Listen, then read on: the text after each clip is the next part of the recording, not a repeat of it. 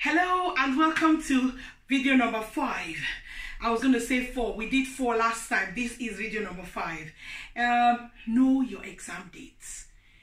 Do you know that some students here, they'll be preparing for GCSEs and then you say to them, um, when are you actually starting your exam? They go, um, um, ah, that's not good you need to know your exam date. You need to write it down and know the day because this will help you in preparing your timetable, which is going to be on my next video.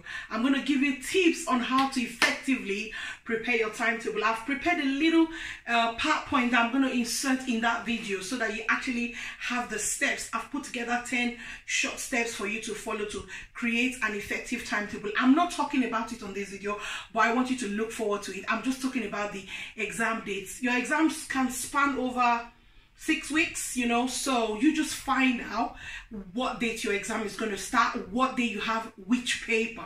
Because this will enable you plan your actual exam timetable because you should have a revision timetable which you need to tweak nearer your exam date.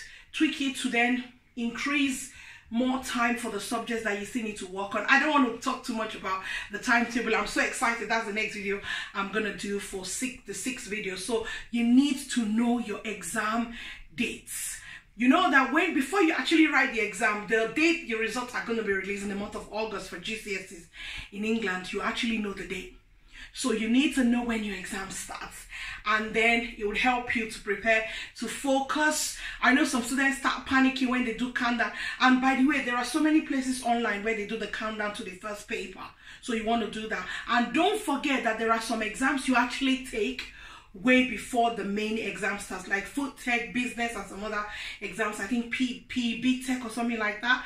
There are a few exams that you get done before that May when you start to do all the papers and you can do like two papers in a day. Please know the exam dates and pull out your own timetable. You're giving your timetable, but fix it into your revision timetable. We'll talk about we'll talk more about revision timetable on the next video. So see you again soon.